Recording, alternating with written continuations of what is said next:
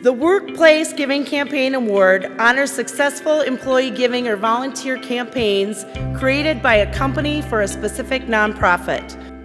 And the winner is C.H. Robinson. To date, C.H. Robinson has donated nearly 500,000 to Juvenile Diabetes Research Foundation. Thank you very much. This is an incredible honor, and I wish the stage was big enough for all of our Minnesota employees to be up here with me because this recognition is really about them. We have always believed at CH Robinson that with the tremendous success we've had as a company, that it's important we give back. And we also believe strongly that it's our employees who get to decide where that is, and they drive these decisions.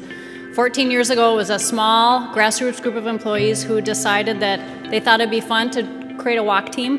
And in fact, they were in inspired by a fellow colleague whose child had been recently diagnosed with juvenile diabetes. And today, as you mentioned, it's become a huge event. My colleagues know that I am crazy about Teddy Roosevelt, and he said something that has always really resonated with me and I think beautifully encapsulates what makes Robinson a really special company. And what he said is that far and away, one of the best prizes that life has to offer is the chance to work hard at work worth doing. So thank you for the recognition of our employees' efforts, and thanks to our employees for working hard at work worth doing to find a cure.